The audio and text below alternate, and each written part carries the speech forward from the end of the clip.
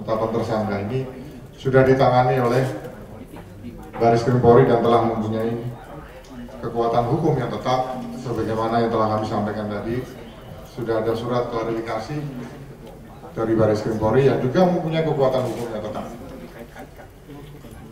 dari lembaga penegak hukum yang formal. Tentu dengan adanya kondisi seperti ini, maka saya merasa bahwa